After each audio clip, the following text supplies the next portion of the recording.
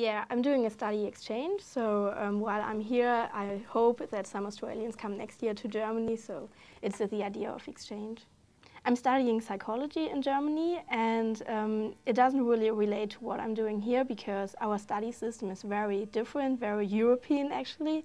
And so I don't get any credit for what I do here, but and that's the reason why I thought, okay, I will expand my horizon by just doing other classes that I think, yeah, will contribute just to get a good idea of the Australian culture and the Australian lifestyle.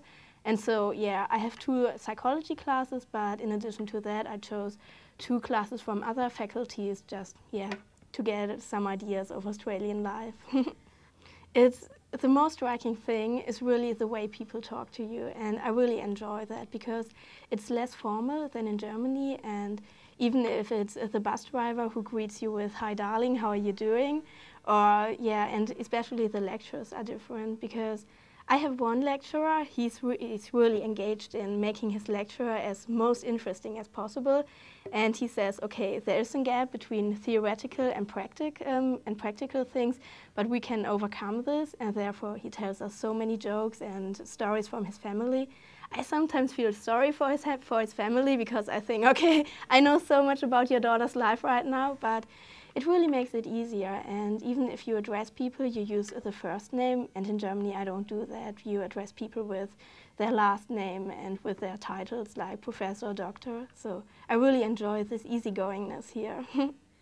Oh, it really took me some months to get used to the tropical heats because when I came here, I, I, thought like, okay, I will have summer all day and I didn't worry about how hot it will be. But I came from minus 20 degrees and I arrived here in tropical heats, like at least 30 degrees.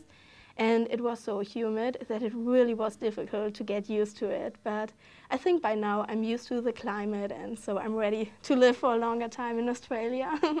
After I leave CQ University, I will go um, to Perth to study there for another term. And in between, because I have four spare weeks, I will travel in the outback and see Uluru and all the outback things. The first thing I learned here in Australia is that you see every day different things. And I mean, I go, I go to the beach at Yeppoon and I see really a beautiful ocean. And it's so everyday life for you to have this beach in front of your house door. But for me, it's really something special.